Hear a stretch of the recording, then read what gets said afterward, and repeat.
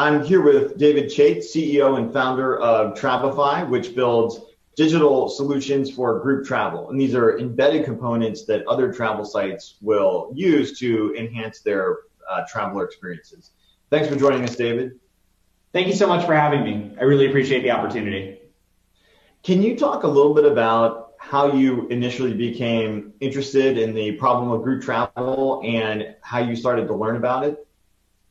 Absolutely. So, you know, the real genesis of Travefy uh, came from experiences within my own life. Uh, the phrase necessity is the mother of all inventions really exists for a reason. And so for me, it goes back to my time in business school, which was also around the time lots of my friends were getting engaged and married. And I was having frustrations in terms of group travel in my own life getting people organized for bachelor parties, destination weddings, and other things. Uh, and the specific genesis of Travefy actually goes to one particular bachelor party that I was a part of organizing that really exhibited all of those coordination headaches that one faces when planning group travel. The endless threads of emails, the frustrating lack of transparency, the awkwardness collecting money from others. Uh, and on this particular bachelor party, I, I, literally have a screenshot of it in some of our early uh, presentation decks. We were 78 emails into this thread, figuring out where we were going to go and what we were going to do. And one guy said, I got it. And he booked a hotel room in Atlantic City and it didn't even work for the guy that was getting married. Fast forward to the end of that bachelor party and I still have friends who owe me money uh, for the weekend.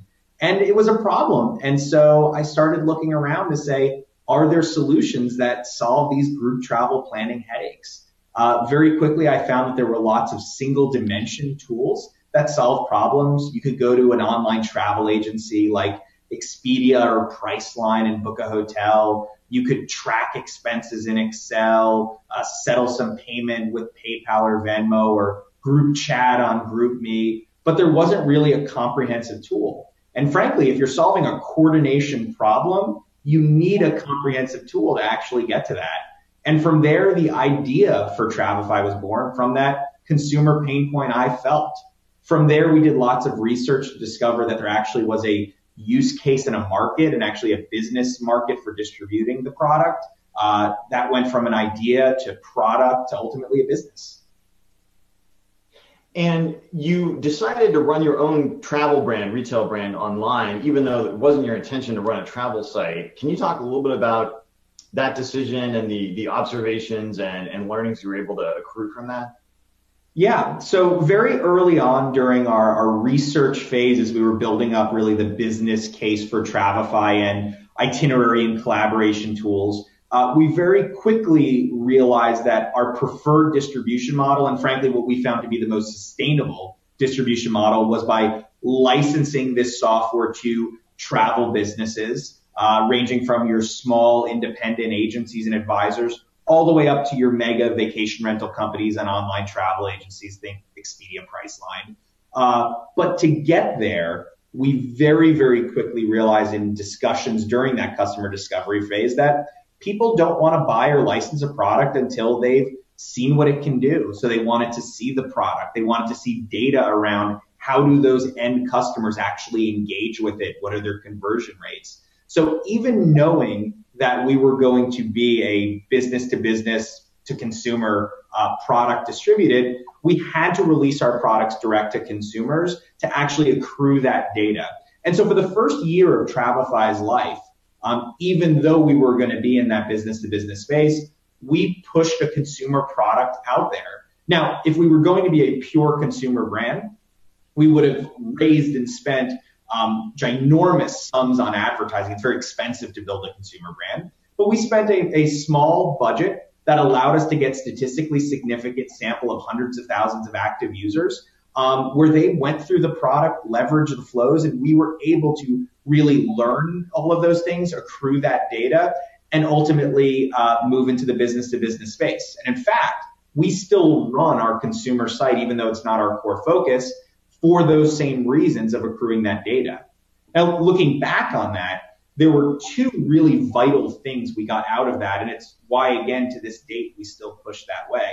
Number one, which is our rationale for doing it, is that it helped us close sales Today, Travefy powers hundreds of travel businesses ranging from those small independent agencies, advisors, and tour operators, all the way up to some of those larger travel businesses like HomeAway on the vacation rental side, Travel and Transport, which is the fifth largest travel management company, which leverage aspects of our tools in their business.